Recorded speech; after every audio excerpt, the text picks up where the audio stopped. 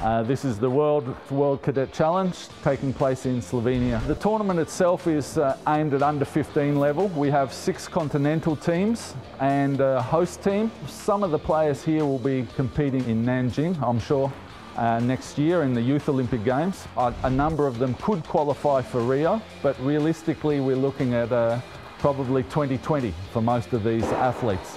They won't be high performers in Rio probably because they're still young and developing, but we believe uh, 2020, some of these for sure will be uh, uh, serious players.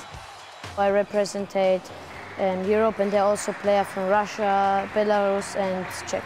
It's a really good experience and I, I really like it. I enjoy this and because it's not often that you can play with other countries in one team.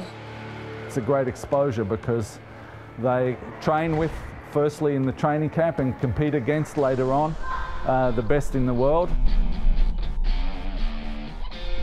Well, you get to play lots of different styles, like not just the same people in your same club, and you also get to meet new people. You get to see where you are in the world, how are you doing, and how are other countries practicing, and how much they've improved from before. Oh, it's nice playing the Asians. You get to play against hard balls, and just like, you no pressure on yourself. You get to see how good they are and what they really can do.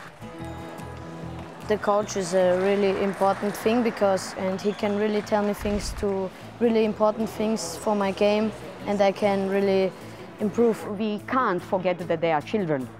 So then sometimes we have to look how they eat. If they eat, sometimes we just have to mm, cool them down or tell them a few nice words. Uh, sometimes they are very nervous before the match.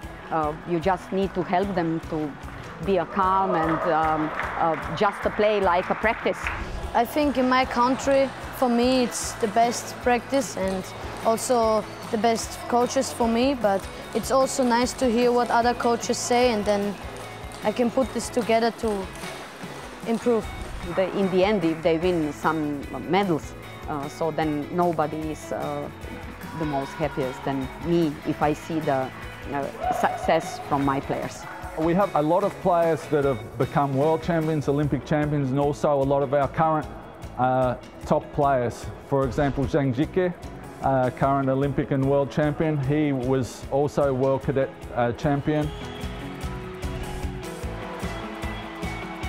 This player that is now Olympic champions uh, is a is an example for me and I think that this is good to prove that in this tournament we can be in the future Olympic champions, so everything is possible.